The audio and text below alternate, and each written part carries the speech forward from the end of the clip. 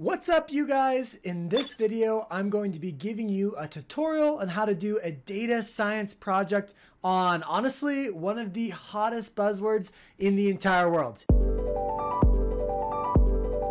Yes, NFTs. Now, if you've been hiding under a rock the past year, NFT stands for non fungible token, and basically they are digital assets stored on the blockchain. And over 22 billion was spent last year on purchasing NFTs alone, which, if you don't know, that is a lot of money. And in this world, in the NFT world, there's all sorts of scams, pump and dumps, and rag to riches stories, back to rags again sometimes. It's kind of a crazy world to be a part of. For instance, this penguin collection started around 0.1 ETH, which is about $300, and rose to an average price of 5 ETH, which is about $15,000 $20,000 only to have the value drop back down to one ETH or $3,000. So crazy ride, crazy project. And regardless of if you think NFTs are all scams or if you think they're bad for the environment or you love them, one thing is really obvious and that is there is a lot of money to be made. And where there is money to be made, data can help us make it. So I set off on a journey to make as much money as I possibly could by flipping NFTs according to a machine learning algorithm. And the result one eternity later. Well, I uh, that's I that's that's what I want I wanted to do, but uh, it turns out it's a little bit harder than you might think. So instead, I just made a data science project I could put on my data science portfolio, and I decided I'd love to share that with you. So that's what we're going to talk about instead. So here is the business use case. NFTs are just collectible digital assets whose price is pretty much based off of speculation and who might pay more for this in the future. But they're also kind of like memberships and they're like getting into a certain club and stuff like that as well. And that's to go to say that these clubs are all about the term community, which basically just means they help each other out and give each other alpha which alpha is hot tips basically in the NFT world. You're basically like, oh, this project might take off, or you should check out this project, or like do this with your cryptocurrency, yo, stuff like that. And really, projects take off because someone starts to pay a higher price than the current market is offering. So others raise their price because they realize they can make more money, which makes the whole project raise and look like it's actually gaining momentum, which causes even more people to come and buy, which causes even more of an increase in the price. And basically that just goes on and on and the circle goes on until you have a really big expensive project. You get the picture. So the rise of projects is very communal and very based upon groups of individuals with lots of money who see an opportunity to make more money. These individuals are really important. That's going to be a big part of our analysis. So I decided to see if there is a way I could identify some of these individuals with lots and lots and lots of money. By the way, they're referred to as whales by the NFT community because they're big, right? And see what they were holding to see if any of those projects were currently cheap but might take off in the future and help me retire before the young age of 27.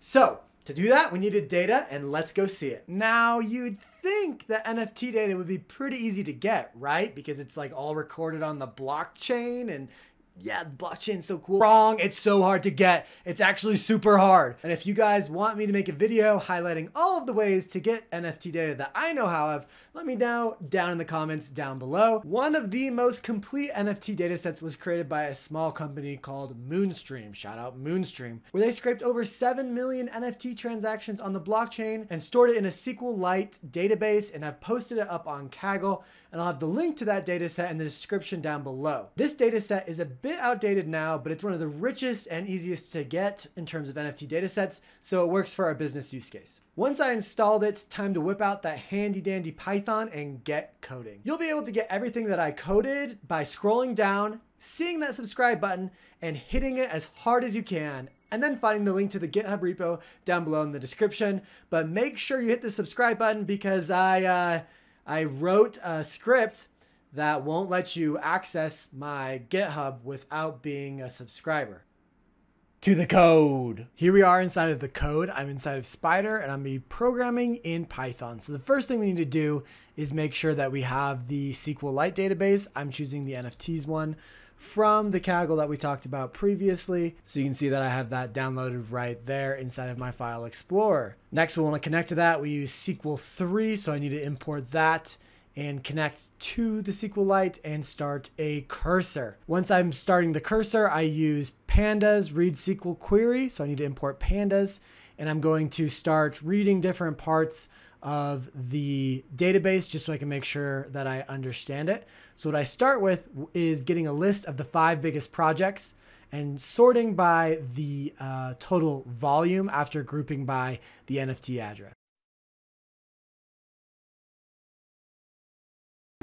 Hello, test it. Okay.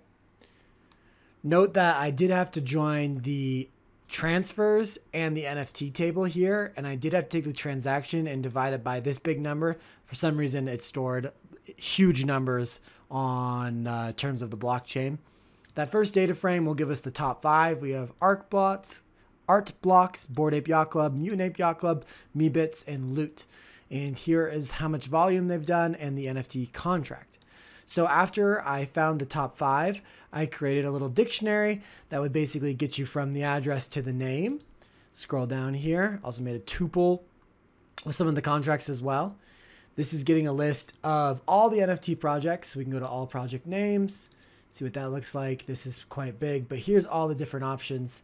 There's the Doge Pound, there's characters, there's there's so many. I think there's 7,000 or something, like 9,000 different ones. Chinese ones, looks like NFT play, stuff like that. So that was just for fun. Made a dictionary to map all of them just in case I needed it.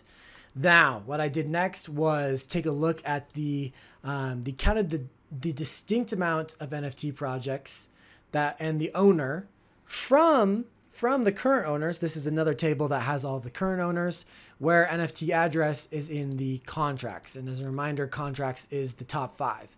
So basically, I am looking at the the top three people that own all of these projects or own a, a good chunk of these projects, grouping by the owner and the number of projects.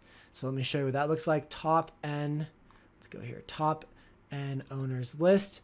Basically, this particular wallet owner, this particular wallet owner, and this particular wallet owner own five out of the five top projects. So these people are probably pretty rich because those are pretty expensive projects and I, I deemed them as people people of interest basically. So those are the, the people that we're starting with, those five people.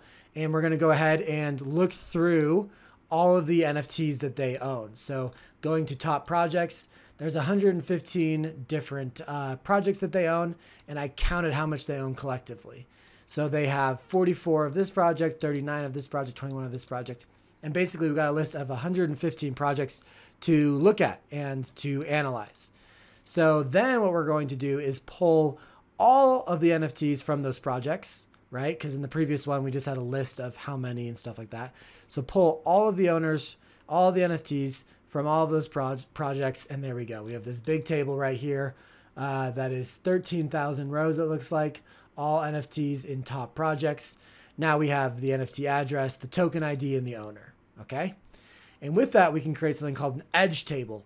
This is really useful when you're doing network analysis, which is basically what we're trying to do is see like, oh, who owns what and stuff like that. So this is when you're doing an edge table, you're basically, I'll show you what the end result looks like. The edge table. You're basically looking at the the left and the right, and I call the left source the right target. And the weight is how much is owned by by both people. So for instance, this is like almost like a Venn diagram. So there's this project called Hall of Fame Goat Lodge, and there's a project called Star Sailor Siblings. Star Sailor Siblings has a bunch of owners. Hall of Fame Goat Lodge has a bunch of owners. But how many people do they share in common? How many owners have both? And so you can look at like, for instance, here's Annie Monkeys. You know, there's 60 in each type of thing. It looks like, um, but it must be one person probably. But like for instance, Blaze Cats, 9021 Collective, they have 100 in common, stuff like that. So basically, you're looking at how many people or how many NFTs actually really are um, are owned both in that middle section of, of the Venn diagram. So we take the address one, the address two, and then we're counting the total rows. Where we're doing an inner join, it's like a self join, right? Because we have basically two of the same table, do an inner join on the owner is equal to the owner, and then filter out any duplicates group by NFT1, group by NFT2, and it looks like I did filter where it had to be at least 50. So I just wanted the ones where we had a lot, right? And with this edge table, we can do a lot of cool things. Um, I basically end up renaming some stuff right here, drop some of the nans, um, rename once again. Uh, but then we can start creating a visualization. So using network, which once again is from this library up here, Pyvis network, we can make this really cool interactive uh, network. Um, and basically you do that step by step. You first just generate it, and then you go through the edge data and add the node, the next node, and then the edge. The edge is what connects two nodes. And uh, then I also added some uh, naming on it so you could basically see who owns what. And it made this really, really, really pretty graph right here, which is like interactive and basically lets you show the bigger the size of the node, the more people are involved. So for instance, CryptoPunks has quite a few. But if you zoom in here, you can see that the lines are not even thickness. So for instance, this line right here is not as thick as that line right there. And so the, the thick of the line represents that that particular edge has more owners. And so this will kind of give you an interesting view of the NFT world and how different projects are related. You notice things like Mutant Ape Yacht Club is kind of one of those key ones that indicates these two different like clusters, which is kind of interesting. Um, you can notice that Treeverse and Arcade NFT aren't nearly like those are kind of outliers. Anyways, you can do a lot of different analysis with this and really take it to a whole next level. So there you have it. That's an intro to doing some NFT analysis using the Moonstream dataset. Pretty cool graph we made, if I do say so myself. And network analysis, there's so much we can do. We can figure out which one has the highest connectivity, which one has the most betweenness, and is like the most important for those two different like uh, clusters that we saw. There's a lot of different ways that you could take this, and so please go ahead and fork the GitHub repo. Once again, that is in the description down below that you can only access if you have subscribed to my channel. Just kidding about that, but not really, but kind of. Um, I appreciate all you guys watching. I'll catch you in the next one. Peace!